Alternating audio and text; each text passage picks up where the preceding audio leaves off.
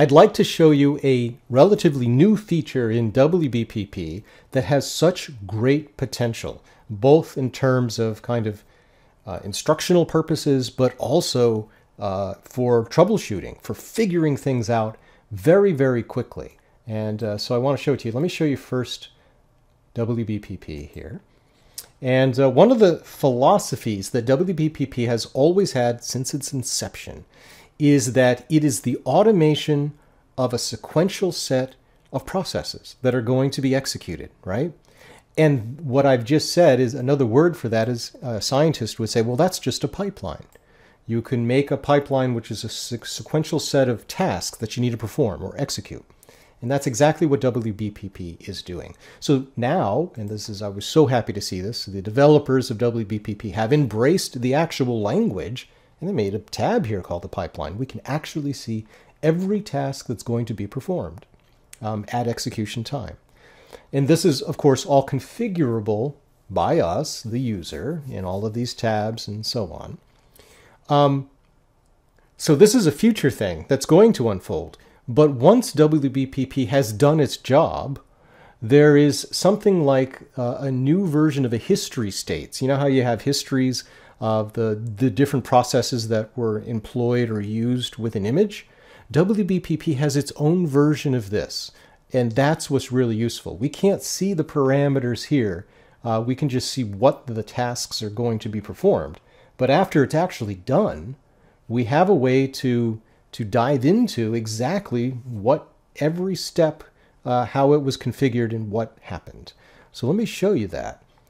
It's located in the logs uh, directory, which is right here. So in a previous video, I indicated all the different kinds of output that WBPP will generate. One thing that it makes are log files that you'll find in the logs folder. Now in this particular case, I don't have a single log, I have lots of them. And that's because I was taking advantage of WBPP's caching ability. Every time I run WBPP again, it's going to generate a new log. I did it over and over because I was trying to figure something out, something that I'll show you uh, shortly. I was basically adjusting the pedestal for narrowband imagery, and I needed to find uh, the right value and figure some things out. So I was running it several times. And all it was doing was it was processing just the hydrogen alpha data. But uh, if you just run WBPP once, you're just going to have the first two, right? You'll have just a text file, that's the log here, and then you'll have this thing that's called the process container, uh, and it's a script. And what this is, is it is literally the process container for WBPP. It has all the processes that were executed, and they're now accessible to you to look at. And that can be super, super powerful. And I'd like to show you first how to access it, and then uh, how you might take advantage of it. It's really, really neat. So I'm going to cancel this. And what I want to point out is that over on the left side of my screen, I have the script editor. Now, if you don't see it, uh, you can also go find it here under View, and you can turn it on, uh, the script editor here. So script editor, what you can do is you can open that file. It is a script. The .js means it's a JavaScript. It is a script you can open using the script editor. Now this might not seem, this might seem advanced. It's not. It's just a thing you can open. That's all you need to know. So you can open it. So you navigate to the right place, that logs folder. And I'm going to open the first the first time I ran WBPP, I'm going to open up that version of it because the other versions uh, were slightly different. So I'm going to open up that version. And then in order to see the contents of this process container, we have to go to compile and run. It's the compile part that will actually display everything for us. So go to compile and run here. And what we're going to see is every single process that was executed. And we can click, and then you can see all the details of that process. So what's really instructional here is that this is, people always want the step by step. Well, here it is, literally every single step that was performed. This is what you would actually have to do if you were doing it manually. This entire list of things if you wanted to do that manually to get the same output as WBPP, you could. Of course, as long as you configure everything in the same way that you did, just like in D, uh, WBPP, you're going to get exactly the same answer. It'll just take you longer. That's one of the reasons why I like WBPP. For example, um, one of the things that uh, sometimes beginning users of WBPP, they wonder, you know, uh, does cosmetic correction come before or after the images are aligned? I mean, that's a common question. And you can clearly see here that it is before. And that is a true statement. You always want to do cosmetic correction before any images are interpolated by uh, virtue of the, uh, the alignment phase of the uh, processing. So uh, this answers those kinds of questions. You can see the order. Uh, let me show you another one. Do you see how there is a subframe selector here? That is because right before the images are aligned, um, you need to determine the best reference frame if you have it set to be automatic. And uh, it, subframe selector is used to do that. And then it goes and it does the alignment of the images. So uh, just uh, again, just to highlight this, all of these initial uh, image integration things, those are the creation of the, um, the uh, master calibration data. So you can see here, again, I'll click, this is the integration of all the raw biases. This one is probably the darks, yep. And then this is what's interesting. See how this one says image calibration here? That's because you have to calibrate the flats before you can integrate them. So you have to calibrate them with one of these files. In this case, it was probably the bias.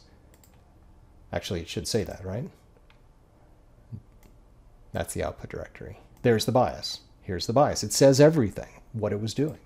And then, of course, uh, we're going to get to image integration where you create the master uh, flat, in this case, in this filter. And you'll see, of course, you're going to see multiple versions of this because I have multiple filters in this particular data set. Uh, and just to really spell that out, I had five filters here. I had uh, luminance, red, green, blue, and H-alpha. So you're going to see five cosmetic corrections here. And you'll see five uh, star alignments here, and so on. Okay, so just to make sure that makes sense. Now, how can we really use this? Well, in my particular case, I was adjusting the pedestal for purposes of figuring out what would be best for that hydrogen alpha data. If you haven't seen my video about um, pedestals with regards to narrowband imaging, go please check that video out. But one of the things that was important is I wasn't going to run all of the, you know, the whole session again. I just wanted it to run just the hydrogen alpha with the change of the pedestal. One of the things that I wanted to make sure, though, is that once it, you know, uh, gets to the point of aligning the H alpha data, I didn't want it to automatically pick its own little reference. It needed to use the same frame to register that hydrogen alpha data that was used on all the other frames. And there's a couple of different ways you can go figure it out. But I think one of the coolest ways now is you can just click here. So any one of these star alignments, they should all say the same reference frame for each of these filters because you know it's just whichever frame was picked here is going to be loaded into star alignment. So let's go see that. So here are the blue frames and they're being aligned to this image here, which is a luminance image. That must have been the one. That is the reference frame. Um, and then if I load any of these others, we're going to see, you know, here's the green, but it's the same reference frame, the same reference frame.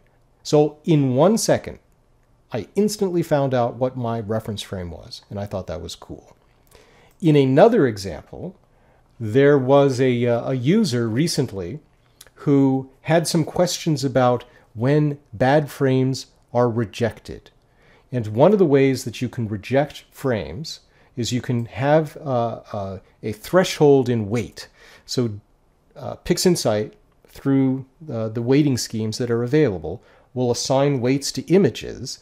And then if a weight is smaller than whatever uh, number you specify, those frames will just not be used in image integration. But this user wanted to be sure that it was actually working. One of the funny things is, and I'm hoping to convince the developer to, um, to maybe make this more transparent, is if you use PSF uh, scale SNR, which is one of the weighting schemes, that weighting scheme doesn't show you which frames are rejected until after you know, in either add image integration or after image integration. You don't get to know before then because it actually has to make that measurement uh, to get the weights right before the images are integrated. So what we could do if, you know, if there was that concern is we can come here to image integration and you can make sure that the minimum weight was actually set to the value that you thought it was and then you can press the button.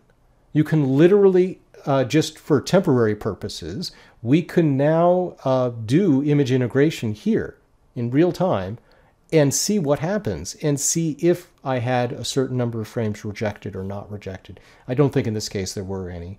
But this user could have just executed image integration at this particular step and instantly found out whether any frames were rejected or not as expected. So I can't think of all of the cool things you could do with this access that we now have to what I'll call like the history of WBPP.